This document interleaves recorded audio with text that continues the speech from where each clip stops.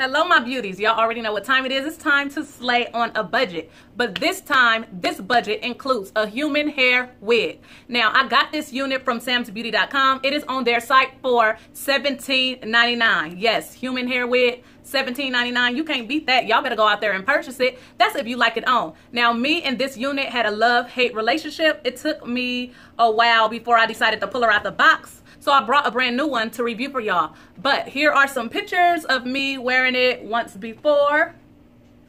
Yes, I was looking bomb in that wig. But anyways, even though I didn't really like it, y'all know how I feel about short units. I hate them on me. It feels like they look like a hat. But anyways, today's wig is from the Sensationnel Collection. This is Easy Bump 27. I have her in a color number one. This is how it looks. The cap construction, I'm going to have to tell y'all, this has no combs whatsoever. It does come with your adjustable straps. Wait, I lied. It do have a comb. It has one comb. I wasn't paying attention. But anyways, I did correct it for y'all. So, um, I don't really have much to say about this unit except that it took a while to grow on me. Like, I really didn't like it. Now, I'm going to go ahead and jump right into the styling because it takes me a long time to play with these short hairs.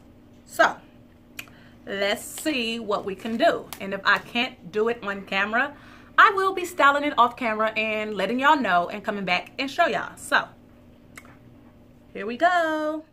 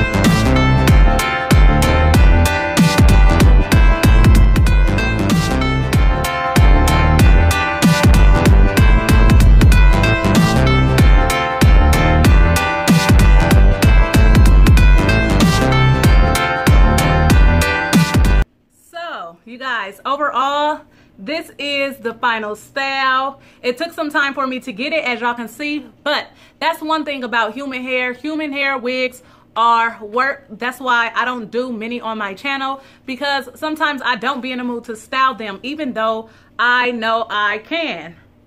But i just don't do it because of that. So if you want a different style effect with this you also can use the flat iron to kind of make a little more of the pin curls, but I am really happy with this outcome in the short amount of time that I did have.